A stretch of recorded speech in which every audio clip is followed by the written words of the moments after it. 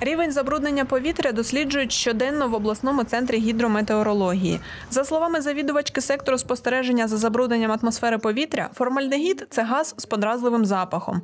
Отруєння формальдегідом проявляється через слабкість, головні болі, безсоння та прискорене серцебиття, розповідає Світлана Шепель.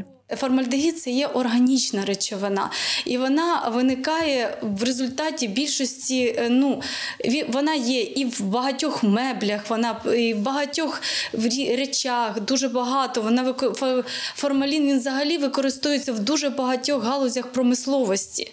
І це може бути і опалення. Люди, люди багато перейшли на пічне опалення. Це може бути і неякісний газ, і неякісний бензин, і неякісна соляра. Це може бути будь-який чинник. Світлана Шепель говорить, у Миколаєві спостерігається підвищений рівень формальдегіду. Формальдегід дуже у нас завжди був. Ну протягом 10 років так точно він був завжди дуже високий в нас.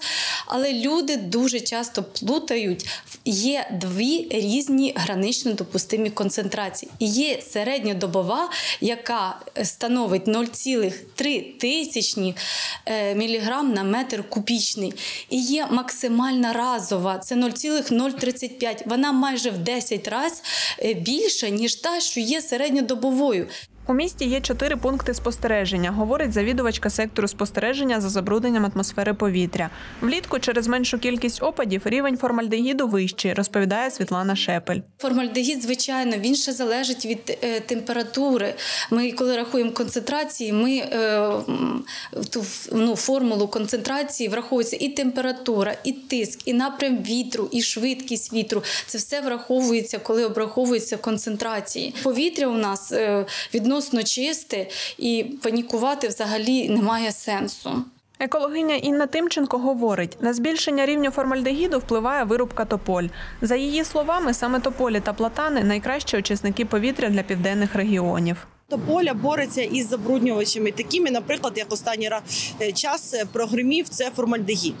Тобто, завдяки е, своїй структурі, завд- завдяки структуру листя, воно краще ніж інші дерева поглинає і забруднюючі гази. Вона виробляє десь е, 140, по нашим даним, кілограм кисню. Одна тополя, е, кілограм кисню в рік.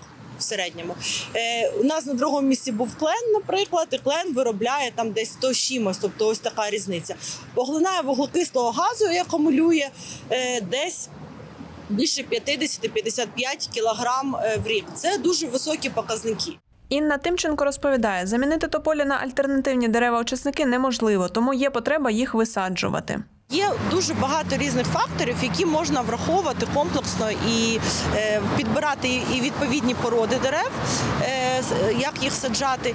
Ну але головне зберегти ті дерева, що у нас є, тому що насправді е, великі дорослі дерева вони набагато більш корисні. А зараз нам це дуже дуже необхідно, тому що дрібнодисперсний пил це крім формальди... ну, ми говоримо про формальдегід, так дрібнодисперсний пил він вважається ворог, невидимий ворог номер один. Ми його не бачимо. Це е, 2,5 мікрони, може 1 мікрон, тобто різні його розміри. Але це все осідає у нас в легенях. За словами заступника директора комунального підприємства Миколаївські парки Максима Доргаліса, вирубувати тополі у місті почали у 2022 році. Зносять тільки аварійні дерева, каже чоловік. Наприклад, е, ми знаходимося по вулиці Курортної, е, де ми бачимо е, великий ряд насаджень та поль по іншому стороні дороги теж. Можемо от, от та поля вже видно, що верхівка її е, дуже вже набула е, сухого вигляду, е, що вже є аварійним при якомусь шквалі е, вітру. Житель Миколаєва Іван у 2020 році придбав собі електромобіль. Говорить, не випадково обрав авто, яке менше завдає шкоди довкіллю. Що двигатель внутрішнього згорання роботи, викиди СО2.